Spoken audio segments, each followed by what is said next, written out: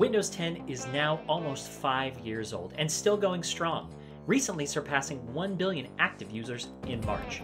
And we've kept up with new tools and advancements by making a major feature update available twice a year. Our journey of making the Windows experience better continues. The May 2020 update is rolling out now for Windows 10 and Windows 10 Pro users. Let's take a look at a few of the improvements to help our users make the most of their PCs and their time. Let's start with the biggest change, and that's to Cortana. The new Cortana experience in Windows 10 is here to help boost your productivity.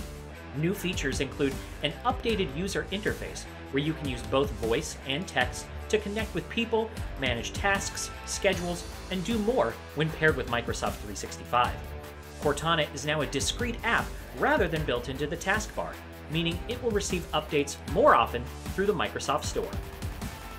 We separated Search and Cortana in a previous feature update, and since then, the Windows search experience has also received numerous improvements. Start a visual Bing search with a screenshot, get more interaction within the search home, and see drop-down results when searching in File Explorer. The sign in and reboot experience has improvements as well.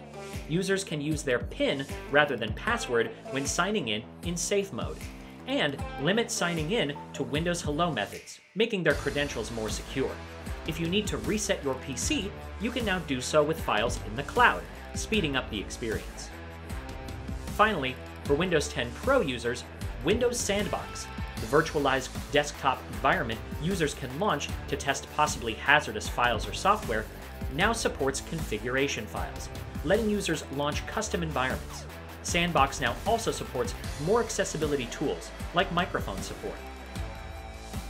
These are just a handful of the updates and improvements in the May 2020 update for Windows 10.